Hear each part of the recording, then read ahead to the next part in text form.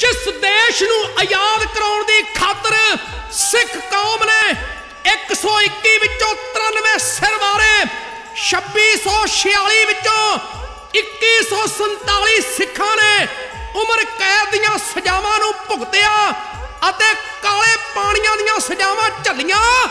ਅੱਜ ਉਸੇ ਮੁਲਕ ਅੰਦਰ ਸਿੱਖਾਂ ਨੂੰ ਤੋਪਾਂ ਤੇ ਗੋਲੀਆਂ ਨਾਲ ਅਡਾਉਣ ਦੇ ਮਨਸੂਬੇ ਘੜੇ ਜਾ ਰਹੇ ਨੇ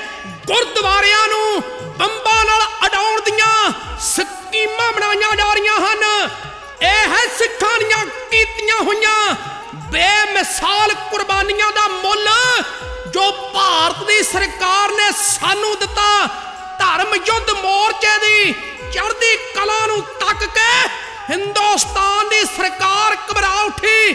ਉਹ ਧਰਮ ਯੁੱਧ ਮੋਰਚਾ ਜਿਸ ਵਿੱਚ 3 ਲੱਖ ਤੋਂ ਵੱਧ ਪੰਜਾਬੀ ਸਿੱਖਾਂ ਨੇ ਆਪਣੀਆਂ ਜਾਇਜ਼ ਮੰਗਾਂ ਦੀ ਖਾਤਰ ਕੁਰਬਾਨੀਆਂ ਦਿੱਤੀਆਂ। ਇਸ ਮੋਰਚੇ ਨੂੰ ਫੇਲ ਕਰਨ ਵਾਸਤੇ ਅਤੇ ਸੰਤ ਜਰਨੈਲ ਸਿੰਘ ਜੀ ਖਾਲਸਾ ਭਿੰਡਰਾਂ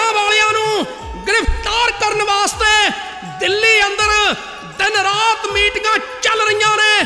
ਅਖੀਰ ਸਰਕਾਰ ਨੇ ਫੈਸਲਾ ਕਰ ਲਿਆ ਕਿ ਦਰਬਾਰ ਸਾਹਿਬ ਉੱਤੇ ਫੌਜ ਭੇਜ ਕੇ ਸੰਤ ਜਰਨੈਲ ਸਿੰਘ ਜੀ ਖਾਲਸਾ ਭਿੰਡਰਾਂ ਵਾਲੇ ਅਤੇ ਉਹਨਾਂ ਦੇ ਸਾਰੇ ਸਾਥੀਆਂ ਨੂੰ ਗ੍ਰਿਫਤਾਰ ਕਰ ਲਿਆ ਜਾਵੇ।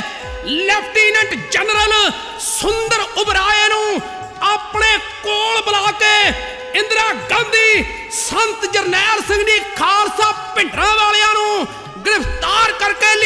ਵਾਸਤੇ ਆਇਓ ਕਹਿ ਰਹੀ ਹੈ।